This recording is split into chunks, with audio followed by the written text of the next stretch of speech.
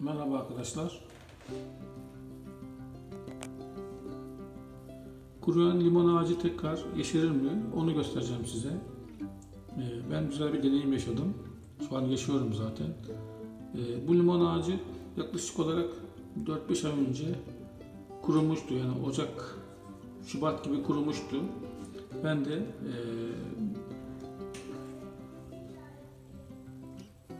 bir e, çiçekçi arkadaşa bunu sordum. Yapabilecek bir şey var mı dedim.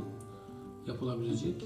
O da e, aşılı yerinden kesersen belki e, ve hava şartları da uygun giderse yeşerebileceğini söyledi.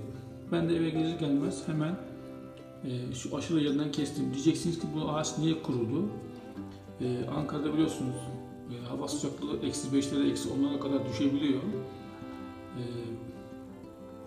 Ben de çiçeği, pardon limon ağacını e, balkona bıraktığım için maalesef kurudu. E, dediğim gibi Şubat ayında şurasından kestim. E, bana tavsiye edildiği şekilde yani e, aşılı yerin 1-1,5 santim üstünden kestim. Yani tam aşılı yerinden de kesebilirsiniz, bir mahsuru yok. Derken arkadaşlar yaklaşık bir ay önce, bir buçuk ay önce bu tekrar patlatmaya başladı. O kadar güzel bir duygu ki inanın çok mutluyum ben şu anda. E, bakın daha şu an e, özellikle son iki haftadır da çok hızlı büyümeye başladı. E, dediğim gibi yani Şubat'ta kestim ama hemen büyümüyor arkadaşlar. Yaklaşık bir iki ay, iki buçuk ay bir şey göremiyorsunuz. Yani patlatmıyor. Daha yeni yeni e, böyle patlatmaya başladı arkadaşlar. Böyle küçük küçük hatta tomurcuk şeklinde patlatmaya başladı.